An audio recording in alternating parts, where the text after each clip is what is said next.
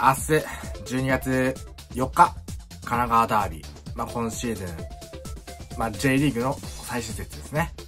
前田大然選手とレアンドル・ダミアン選手が、えー、得点王争いを直接対決となって、まあ、この試合がどうなるか、で、どういう展開で進んでいくか、で、最後終盤、どんな状況で迎えるのかで、かなり試合展開変わってしまうんじゃないかなというところですけれども、まあ、例えば、まあ、2-1でね、どちらが勝ってて、で、勝ってる方のエースは取ってないという状態。で、負けてる方が1点取ってるっていう状態が一番どうなるかわからない。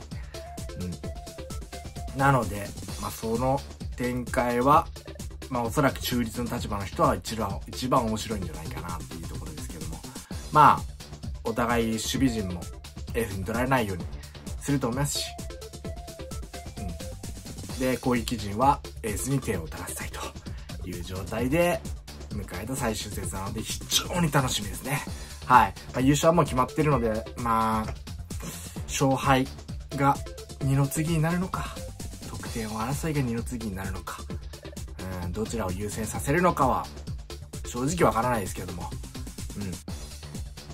まあ、願わくば、川崎が勝って、レアンドル・ダメアが得点王になることを祈って、明日は応援したいと思いますので、皆さんも応援しようぜ。うん、応援しよう。そしてなんといっても神奈川ダービーだからね。マイナス絶対に負けられないので、はい。ぜひ、明日、勝ち鬨を得て、うん、勝ってくれることを祈って、えー、明日12月4日、14時、日産スタジアム。